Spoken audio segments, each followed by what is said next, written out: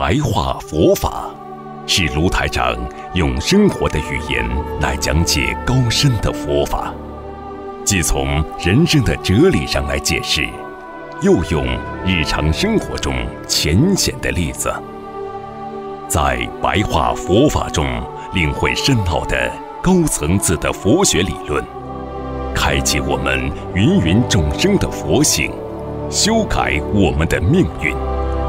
请收看卢台长的白话佛法。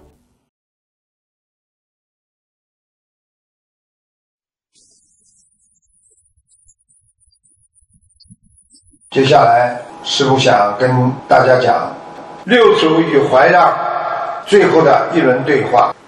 六祖道：“六祖接下来又讲，只此不污染诸佛之所护念。”汝既如是，吾亦如是。西天般若多罗乘，汝足下出一马驹，踏上天下人，应在汝心，不须诉说。一个人。要想修心不污染，你要想不污染，诸佛菩萨就会护持、加念你。护念就是菩萨保佑他、保护他。你是这样，汝即如是；你是这样，吾亦如是。我也是这样。印度的波罗多罗。就是六祖了，就是对怀让禅师说：“西天当时指的是印度，大家知道到西天取经吗？实际当时就是到印度。这里指的西天波罗多罗，这是一个人的名字，在印度有这么一个人，汝足下出一马驹。”在你的以后的弟子当中啊，会出现一批小马驹。这这个马驹就是指的马祖道一禅师，这是后来怀让禅师的大弟子马祖道一，踏杀天下人。这个杀并不是杀人的杀，就是把所有的人全部被他征服了的意思吧。他可以教化世界天下之人，就是你不要急着说出来，应在汝心，你的心里应该明白，我不需跟你讲太多。最后这句话的意思呢，不需诉说，就是不要急于说出来，记在心里了。应在汝心，你应该记在心里，会有这么一个人，你的一个弟子。他以后会很厉害，教化天下的人的，你不需要马上现在先说出来。那么结果呢？怀让禅师呢，在六祖身边呢，侍奉了十五年，在他身边照顾了他十五年，他对道的体会日渐深刻，非常的努力。他自己到南岳去弘法。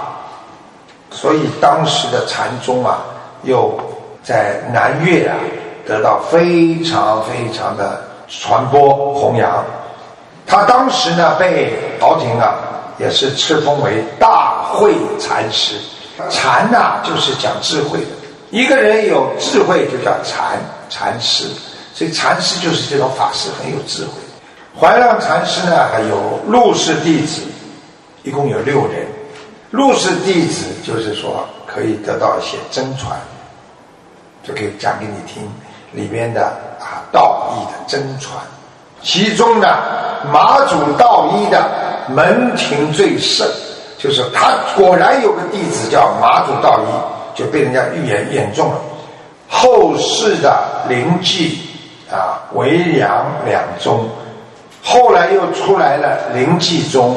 还有啊，这个维养宗两个宗派，全部都是这个马祖道一传出来的，所以这个法门就是一代传一代，学了之后再传下去，变成自己的一个另外一个宗派，所以很正常的，一个法门一个法门一个法门出来，就是不停的在弘扬，啊，万教归一，意思都是佛佛教，但是呢，大家门派可以不一样，就是都是人，穿的衣服不一样，说的话不一样。结果呢，怀让禅师呢曾经这样告诉他的六位入室弟子，他就告诉他：“汝等六人同证五生，啊，你们六个人呐，啊，同证就大家都得到了啊，我的言传身教，各弃其一，每个人都拥有一样特别好的啊一个功能一个能量啊，一人得五眉，一个人呢。”得到了像师傅一样的眉毛，善威仪，就是非常非常的啊威武威仪。他的名字叫长浩。第二个呢，一个人得五眼，得到我的眼睛，善顾盼，就是能够观察前后左右，照顾和看望，顾盼前后左右，叫自达。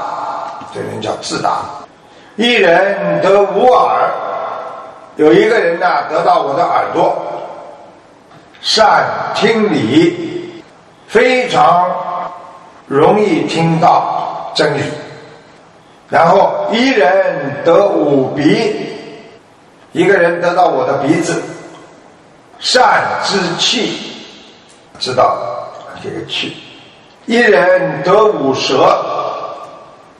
善谈说就是非常舌头，人家说说话就是靠舌头呀。你看人家说舌头很灵活的人讲话就快。一人得五星，那么这个人得五星的叫善古今，自古代和今天他全懂，他叫道一。最后这个善古经就称为道一，就是马祖道一。他说了一切法即从心生，心无所生，法无所住。若达心地，所作无碍。非欲上根，一圣慈哉。他懂得了，他在慧能大师身边十五年。他说一切法即从心生，就是说这个世界上的一切法。都是从心里生出来，这个就是说，万法由心生，心无所生。你说你碰到了外面的情况，你才会生出这个心；你看到了外面的墙，买房子，你心才生出来的呀。大家没有，你没看见房子，你不会去心生。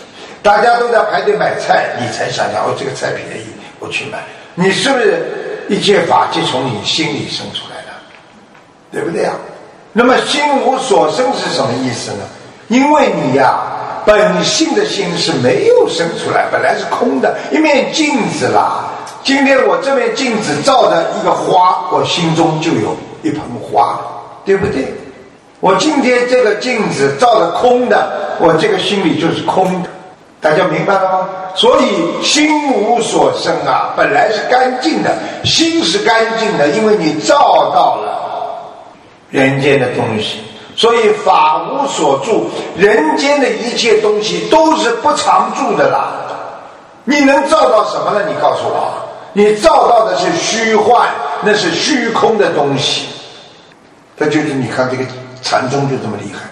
若达心地，就是如果你只要用心，用你的本性，心地善良，讲的心的到。底的地方就叫心地，那么就是九世天中。那么只有你达到你的九世天中，你才所作无碍，你做出来任何事情没有障碍了。九世天中应该是阿摩罗什，非欲上根。如果不是遇上上上的善根呐，你就要当心啊，益圣。啊，慈是什么？你如果没有这个上根呐，没有这个上上根呐，你最好要谨慎，不要去冲啊。所以给大家总结一下啊，六祖问怀让什么出来？一语双关，就是问你本性从哪里来的？他对佛法的理解怎么样？所以你看很厉害。所以当怀让说嵩山来，他说嵩山来什么意思啊？我从嵩山过来的，明白了吧？他就老老实实告诉他，我从嵩山过来。但是呢，六祖慧能的意思是什么意思啊？圣门误，那么来？他已经告诉他，我从河南嵩山来。他就问他，圣门误，那么来？到底在哪里呀？你怎么过来的？实际上就是六祖慧能在问他：哎，你知道不知道啊？你的本源从哪里来啊？你的本性从哪里来呀？明白吗？所以当时他根本不懂，坠入了五里云雾当中，搞不清楚了。经过八年的参研啊，体悟，他突然之间觉得自己有了醒悟了。啊，他就告诉他了啊，说是一物即不动啊，你讲什么地方来也好，什么人来也好，这些东西都不对。那么然后呢，怀让道出了禅家的一个重要的学禅的一个重要的特性。禅道有一个重要的特性是什么？就是不可言喻性。因为禅道就是说。任何事情，你不要去把它讲啊，因为呀，讲出来都会变的。你就是讲对了，它也会变；你讲的不对，它也会变。所以不可言语啊，就是不可预言的，不要去讲啊。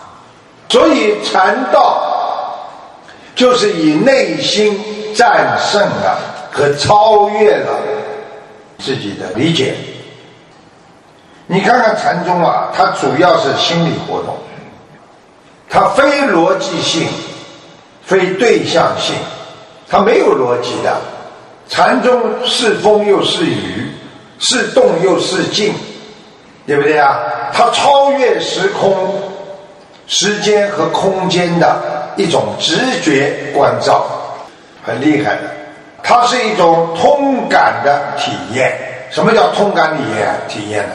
就是我认为当时怎么样情况，我心里明白了，我知道了，但是我不讲，是一种非功利性的潜意识，就是不能拿到的一种意识。你得到了它，又好像没有得到它，那么就是一个人的内心的精神存在。我要举个例子给大家听。什么叫通感体验？我今天看见这个人，我觉得他蛮好的，但是在你的心里，你会明白，这个人虽然我现在看着他蛮好的，但是我没听别人说他好不好，听别人说了好不好之后，我才知道他真的好不好，明白了吗？你对他今天看的好和不好，只是一种潜意识，所以很多人骗人的人，表面上笑嘻嘻的，你都觉得很好，实际上。他在骗你，所以禅宗的意思就是叫你们不要去下定论，不要去马上决定这个事好的还是不好的，啊，这是物质，这是精神，啊，这个事情是好的，是对的，不对的，叫你们认为三界为心，万法为事，你看到的东西是由你的心。造成的，所有的佛法就是你的意识造成的。你们现在所有的正确的意识，全部都是法佛法。师父现在跟你们讲的，众善奉行，诸恶莫作，就是法，肯定是对的。意识，世界上很多事情都是因缘和合而生的，啊，不恒在，就是永远不会长久的。啊所以任何一个人辗转生死，内心永远不会安宁和平衡。所以任何一个孩子的出世，一生出来就哇哇大哭，因为刚刚生出来的时候，他已经知道了这一生无依无靠。你看孩子为什么出来的时候？他就哇哇大哭。你看，在妈妈肚子里的时候，这孩子不会哭的。他有依靠，他依靠母体啊。出来之后，整个就像从天空上掉下来那种感觉，悬空的，无依无靠。他的内心为什么不能平静和平衡？因为他有累世的冤结呀。所以烦恼跟痛苦。精神的痛苦，肉体的痛苦，这个不是人生的根本。所以禅宗告诉你们：身体受点苦会好的，精神上受点苦也会好的。最主要，你的根呐，你怎么样的本性本根要正？什么叫最圆满的幸福啊？就是去妄成真。因为每个人心都会有一个自由的本心，所以这就是为什么禅宗里面讲的“浮尘看尽”，实际上就是把你心中那些烦恼杂念把你扫干净，去除你的烦恼。所以，真正的有禅修的人。他不跟别人计较，他知道这叫分辨心，他没有分辨心的，他知道任何事物都会变化的，所以他不会跟人家斤斤计较。你去看好了，任何一个人斤斤计较、想不通的人，他觉得这个世界对他是可能是末日，实际上他就没有禅修的那种智慧。什么都会变的呀，一会儿变好，一会儿变不好，一会儿好了，一会儿不好。人生都是这样，一会儿好，一会儿，一会儿开心，一会儿不开心了，一会儿想不通，一会儿想通了。你说人，你把它放大，不就是个轮回体吗？你们告诉我，人不就是个轮回体的？一会儿说妈妈好了，一会儿说爸爸好，一会儿说妈妈不好，爸爸不好，一会儿说妈妈也好，爸爸也好。明天又说爸爸好，后天又说妈妈好。那人不就是个轮回体吗？啊，所以只是一个境界而已。所以禅宗里面讲的以心传心，禅宗为什么说你心知肚明啊？啊，就像人家说了，这个如鱼饮水呀，冷暖自知啊。就像一个鱼喝水一样的，冷了热了，他自己肚子里知道。你们都清楚，这个人对你好不好，爱不爱你，你心里最清楚呀，你能感受到的呀。冷暖自知，所以禅宗讲的就是菩萨爱不爱你，你求菩萨灵不灵，你自己心中肚子里最明白了。菩萨爱不爱你们啦？你们念经灵不灵啦？好了，明白了吗？我们心灵法门里面有禅宗的呀，让你们理解呀，理解人生呀，就是禅定呀。所以人的心一旦得到了开悟，你在生活当中会得到很大的对你的帮助。为什么呢？禅宗告诉你，什么都会变。那你？想一件事情想不通了，你可以变不啦？每个事情都会变化的呀，对不对啊？世事无碍，没有一件事情可以阻碍你的，因为你得到了禅定，因为你知道世界上任何事情，今天有阻碍，我明天可以把它搞定。用现代话叫搞定，对不对啊？变化的呀，所以得到禅宗之后，人会精神非常好，觉得世界上什么事情都会变化。自信长明，印证佛法，所以六祖与怀让最后的一轮对话，实际上就是讲到了印证佛法，印证佛性。